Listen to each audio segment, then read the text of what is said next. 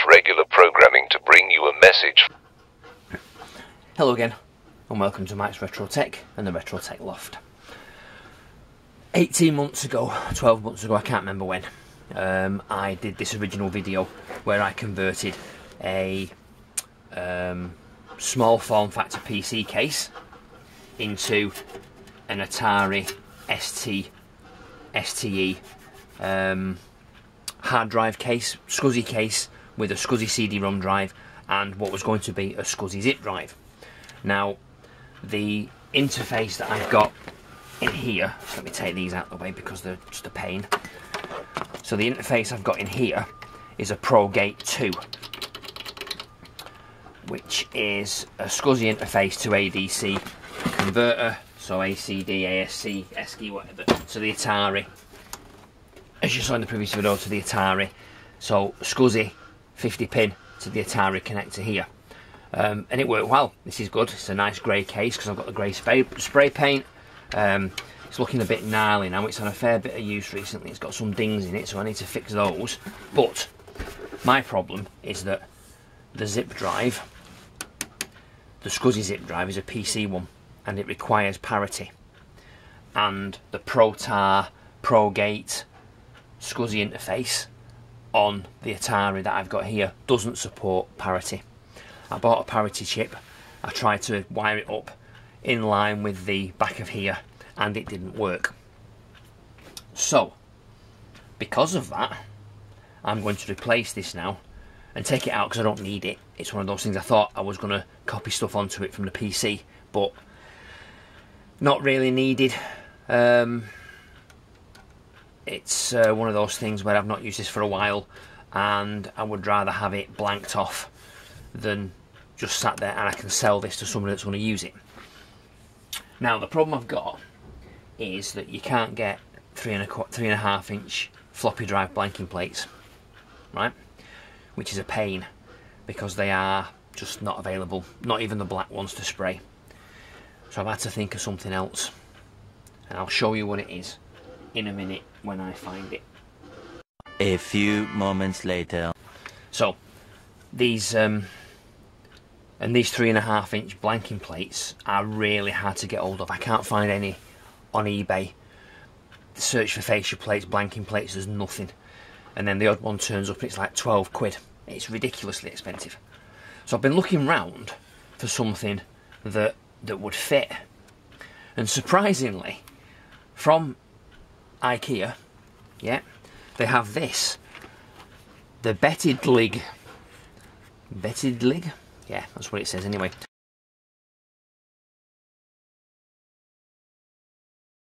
And what it is, is the converter, the holder for um, a curtain rail. So it's their curtain rail. And these are about £2.50, I think they were, when I bought these for a couple of years ago, and they've been in storage. Um, so it has the hook. So either way you can do it, that way or that way. But it's this blanking plate that I'm interested in. And what it is, is like a piece of plastic, just there. And this this one's already been done. I've, I've taken one out of the packet already, and and as you can see, you can spray it. It works quite well, but miraculously, it's just three and a half inch size.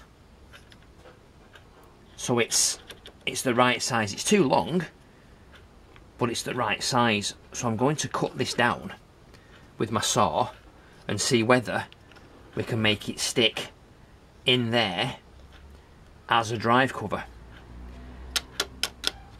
That's the that's that's the that's the plan. That's the plan. So I'm going to take this apart, take this out now. First of all, power it up and take the zip drive, the actual zip disc out because it's not good keeping it in there. Take this out, cut this down, put this in, and then we'll reassemble it and we'll see what it looks like. But for £2.50, it's a lot cheaper than buying six or seven quid online for a blanking plate. And it actually looks better than having the, the floppy drive built into it, you know, the blanking plate. So there we go. So I'll take it apart and we'll we'll see what goes on. Okay, so the zip disc's out. So we'll now take the case off. I mean, this case is bashed. It's been it's been used quite a lot, so it needs it needs another coat of. Um, this is what I did last time. The rest uh, the Rust-Oleum Painter's Touch Stone Grey and that's the closest to the Atari ST colour that I could find. So I'm gonna have to get some more clear coat as well, which I've got up there on my shelf. So we'll repaint this and then we'll put some clear coat on it and hopefully it will stay undamaged for a long time.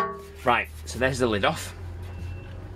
And as you can see in here, the zip drive is held in by one screw and it isn't connected, it's only connected with the power. So we take the power off, put the power up there. So what that means is I can have, I can change this Molex to be another three and a half inch drive and we'll get another three and a half inch floppy in that if we can because I'm not you know not a floppy drive sorry I'm in a three and a half inch hard drive. Um, they are quite expensive though these 50 pin old let's see where did that go?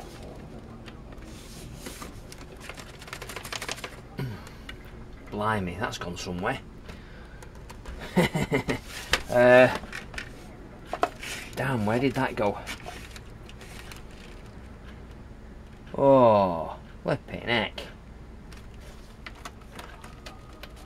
can't believe that screw's gone.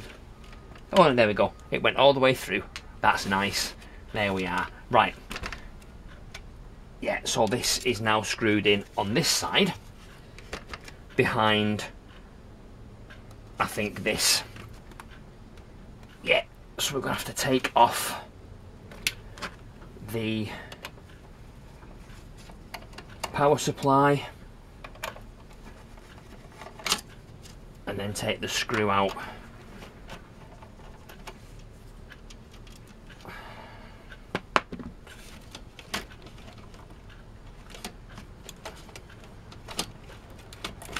Yeah of the zip drive there it is. Okay so screw from here out. Yeah there we go. And that's two there. Brilliant. So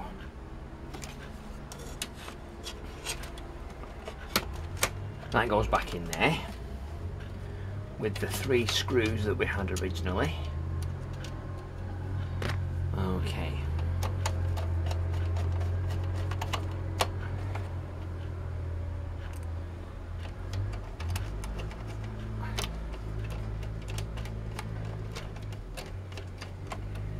that not going in there? Oh yeah, there we go. Okay. So, power supply is back in. What I do need to do also is from the original ProGate ProTar case is take the blanking plate and put the blanking plate over there. It means just scraping it off. It's a piece of plastic with it written on in German. But that should go over there and make it look nice. And then that's complete and it can be used properly. It's a shame, these, these cases are really good. Um, it'd be nice to put a really powerful brand new PC in one of these and then make some sort of gaming rig. Right, so what we need to do is push that out there and there we go. So there is, oh look at that, it's an Apple one. um, okay, Apple zip drive, 50 pin SCSI. Yeah, brilliant. So zip disk, zip drive out. And then this is what I was going to say. This is this is what I'm on about. Is that will fit in there quite nicely. And what I'll do is I will super glue that in because I don't need it. Um,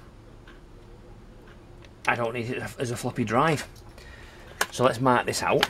Let's move this to one side. Get my pencil and let's mark this out.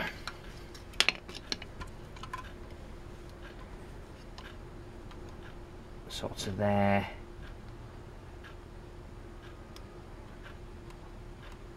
Into there.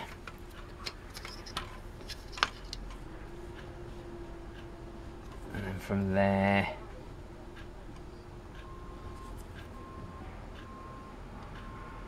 to there. And then hopefully see I thought I'd got a ruler. No we've got a caliper. We'll, we'll use the straight edge on the caliper. And that should go. Where should that go? Let's have a look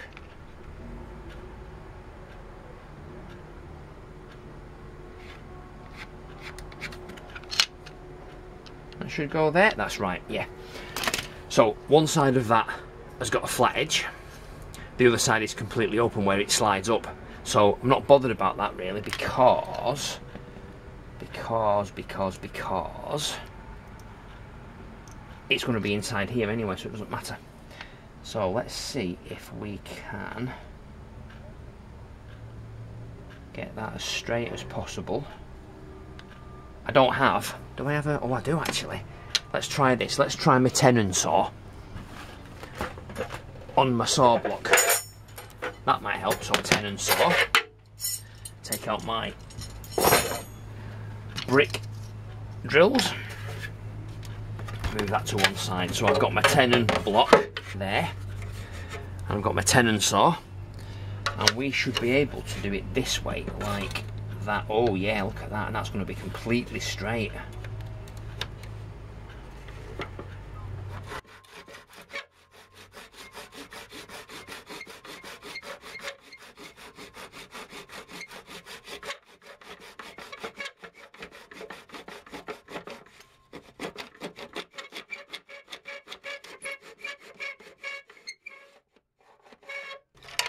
and there we go.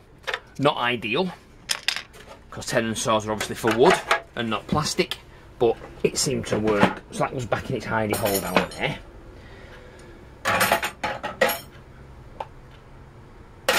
Oh.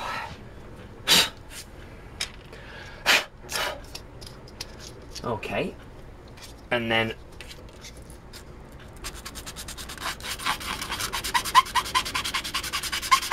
a bit of the sandpaper and there we go. Nice and straight.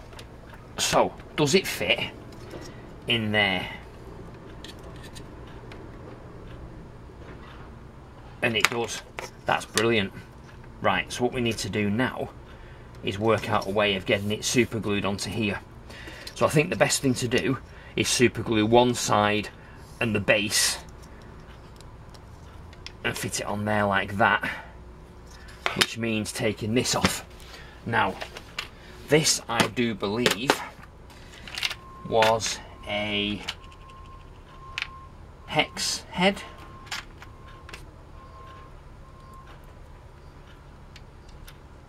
no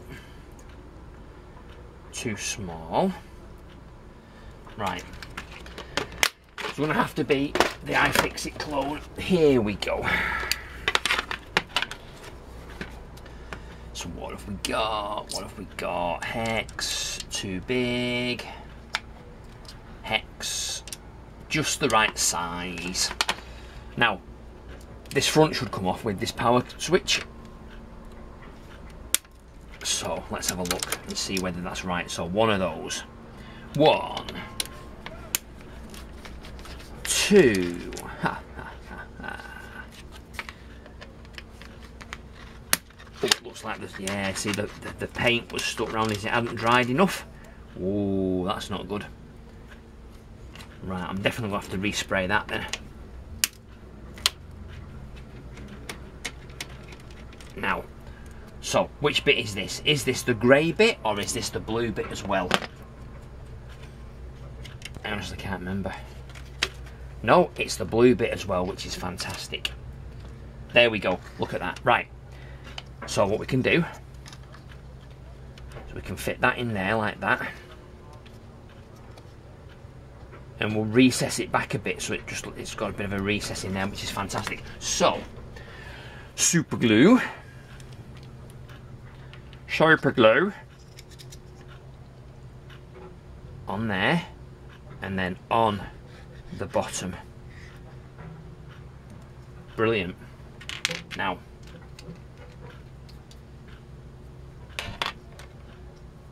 that can go, that can go straight.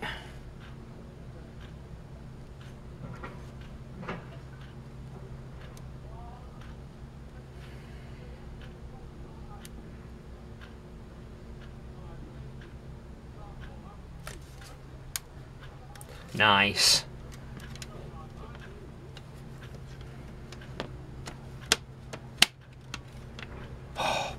And look at that. you would never know there was a drive in there, would you? That's brilliant. I'm liking that a lot. Right, let's get these back in.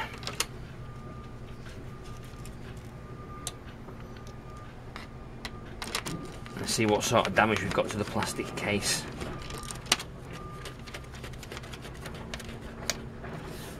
Because I've still not finished this, I've still got to fill these holes in at the front as well. So, I don't know what to use for those, that's the problem. One of those. Oh, and then one of those there, there we go. Nice. Okay. So there we are. Job done for that. So that looks really good. Got to touch up a tiny bit of that, which is a bit of a pain, but it needs to be done. So let's have a see what we've got. I've got my paint here.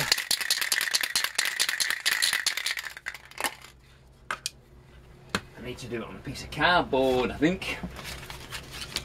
There we go.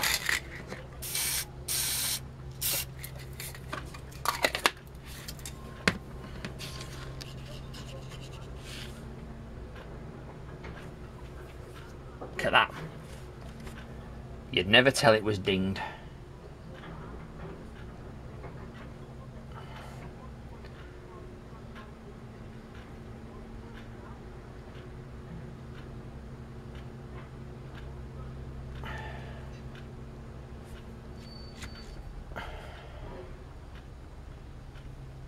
Yeah. Nice. Right, done. Job done. Excellent. Well, we've got some of that. Let's have a look at this here. So, what have we got on the case? We've got a ding there, a ding there, a ding on the corner here.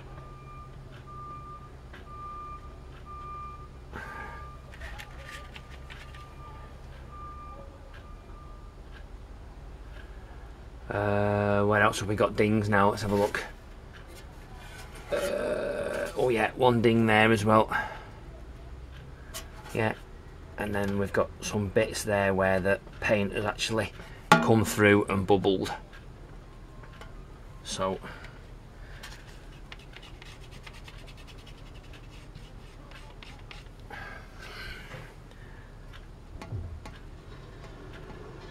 Yeah, that's quite good. Right, excellent. Okay, so we're back to normal. Back to the nice grey.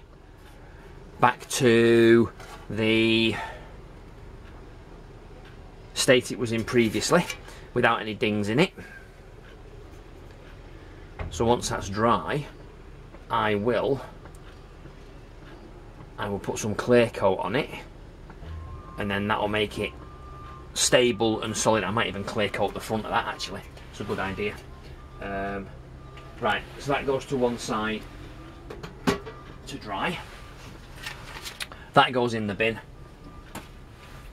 And this goes to one side now because the zip drive is out and there's no point in actually powering it on because I know it will work and, and it should be fine. So there we go. So I've removed the zip drive because I've no, no use for it anymore and replaced it with a very cheap £2.50ish. I'll try and find the price and put it in here now.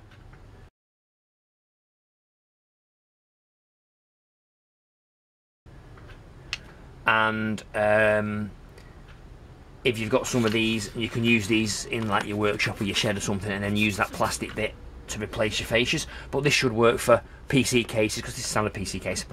So if you're stuck for um, three and a half inch um, drive blanking plates, then you can use these from IKEA. Um, and they work really well as I've proven. You can spray them black, you can spray them whatever colour, um, cream, grey, whatever colour you've got, you can spray it and it looks fine. So I think that looks better than a non-used zip drive. So when I use this now, I'll just get two hard drives and the CD-ROM drive, and then I can write stuff on the PC to the CD-ROM. Yeah, so there we go. So this needs some more paint around here, but it's done. So that was it. That's a very quick video on replacing the zip drive, which isn't used, with a blanking plate from IKEA. So there we go. So I'd really appreciate it if you subscribe to the channel. click the bell icon so you get notifications when I upload more videos. Do yourself a favour and download the YouTube mobile app so you get push notifications when I upload the videos. Um, leave me a thumbs up and a comment. What do you think of this? Is it you know a project that you like to see more of? Do you want to see it running? I have run it in the past, but I can run it again on my Atari. Um, but as ever, thanks for watching. Come back next time. See you soon. Goodbye.